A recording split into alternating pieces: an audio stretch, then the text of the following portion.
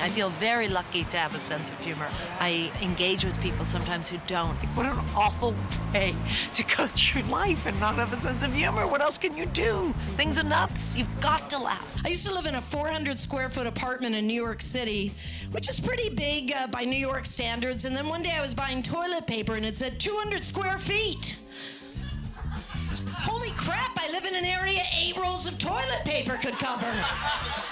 That's it. I firmly believe if you need them, they will not be there. But if you are having a blast, they'll come along for the ride. And then you get used to it. You're like, you've got to see this loft in Soho. It's like 16 rolls. It's enormous. It's like, And I sort of flirt with the audience in a way. what kind of standard are we going with here? It's powerful.